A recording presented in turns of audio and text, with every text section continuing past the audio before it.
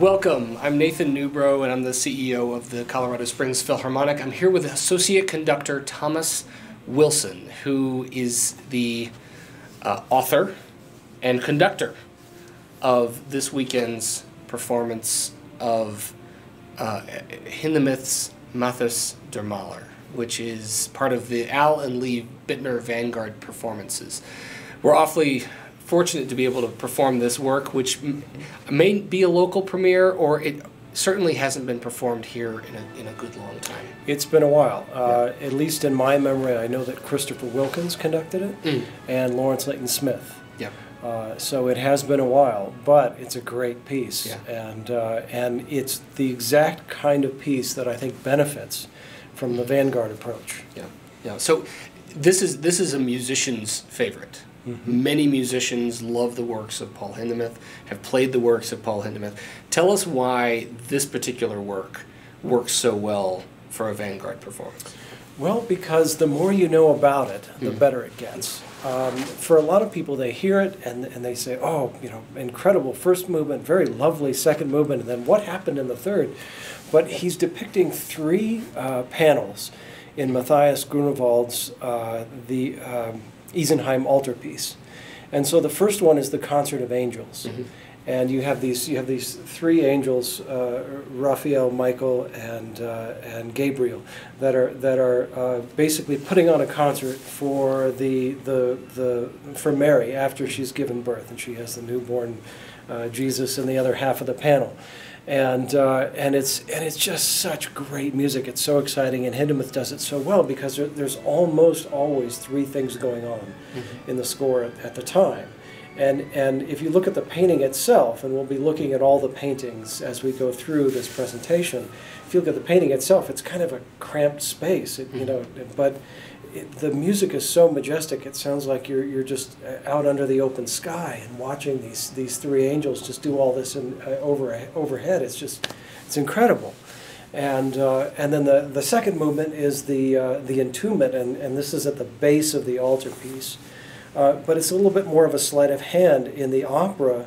This it's in Act Six, and and this uh, young woman who's one of the characters in the opera her father has just been killed in the peasants' uprising. She is she's dying, mostly out of grief, but she's also been uh, somewhat injured, and, and and so this music unfolds. But but in the symphony, Hindemith just says this is the entombment. So it's a little bit of sleight of hand, uh, but it's it's absolutely gorgeous music. But the last movement is the Temptation of Saint Saint Anthony, mm-hmm. and uh, and of course you have Saint Anthony uh, in the tomb, and he's getting ready to go off into this life of isolation. He was a, a famous hermit uh, uh, saint, and uh, and and he's being attacked by by demons. Mm-hmm. And, and so it's not supposed to be pretty. But if you don't know what Hindemith is depicting, you're well, what what what is this? But it's brilliant and it's exciting and it's and it makes this this grand alleluia at the end all make all the more sense. Mm-hmm. You, we, have talked about the, how, how, well this works for the Vanguard performances. Maybe we should say what that is. Okay. For people who, have, who aren't familiar with the Al and Lee Bittner Vanguard performances, each one of these is, is dedicated, in most cases, to a single piece of music. Right. It just and for and this time it's dedicated just to this one work. And in the first half of the concert, I like to describe it as a as a live documentary performed on stage. There's a lot of scholarly work that goes into this. Uh, we'll have we'll have a narrator uh, there on stage. We'll have the we'll have video and film and photography uh, above the stage shown on a, on a multimedia screen. The musicians will be there playing excerpts of the music. And then after intermission, you know very well that after intermission, all that stuff goes away, and you play the piece from beginning to end the way that it's meant to be heard. And I, I think audiences who are already familiar with the work will walk away even more familiar with the work and understanding it and appreciating it in a new way. And those who have never heard this piece before in their lives will get a, a terrific introduction into the world of Paul Paul Hindemith. So as the author of this, so the scholarly work, you, you, you did all of this. As, as the author of this, how did you construct the first half of this program? Well, um, it took a lot of research to put it together, uh, including a lot of cutting edge research. Um, I, you know, using the, the some international databases, even pulling in some some papers that were just being turned in in in uh, um, in December, and using them as part of the research. So, uh, you know, doctoral theses and things like that for people who are digging deeper. But uh, it's you know, it's an amazing, amazing piece. And what I wanted to do was sort of let it unfold with the Isenheim altarpiece. Mhm. So you really have three. It's interesting because in that in that one panel you have the three angels, uh, Raphael, Michael, and and Gabriel, and you really have three other angels here. You Mhm. have Saint Anthony.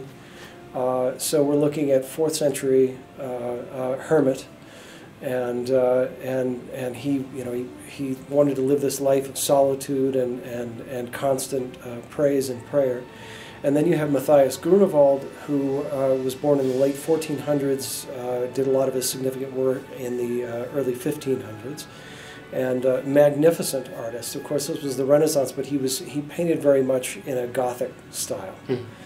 and uh, and his and he did, there's very little that we have surviving of him. There's about ten uh, religious themed works and a, Mhm. and a self portrait, and that's it. And the, the greatest of, of his efforts is the uh, the Isenheim altarpiece, and so this this altarpiece it, it starts in a closed position, and then you, you it opens to an, an intermediate position, and then you finally a, a, a, a completely open position. And in each in each uh, way, he's got different uh, scenes from the life of Saint Anthony because it was the Antonite order that uh, that uh, uh, commissioned the piece. So I wanted to I wanted to, to sort of let it unfold as the um, as the altarpiece opens. And so the in, in terms of the panels, it actually unfolds exactly the way the symphony does as well. The angelic concert, the entombment, and the temptation of Saint, Saint Anthony. Well, I want to thank you because as a, as a former musician, I, I, we said that Hindemith is the musician's friend. Hindemith is, is a composer just loved by musicians all over the world. Mm-hmm. My admission to you is I've never heard it performed live. Oh, I've boy. only heard, uh, isn't that crazy? I've only heard recordings of the work, and so this will be this will be my first opportunity to hear it performed live, and I want to thank you on behalf of all the music lovers. Well, in, in my opinion, in Yeah. my opinion, it is a serious contender for the greatest symphony of the 20th century. A serious contender. Yeah. And I intend to make that case, both with uh, the, the presentation part and also with the performance on Saturday. Well, well, you heard it here. Be there to hear it live. Hindemith's Mathis der Maler on the Al and Lee Bittner Vanguard performances. Thomas, thank you very much. Thank you. If you want to know more about the Colorado Springs Philharmonic, you can find us online at csphilharmonic.org. Thanks, everybody.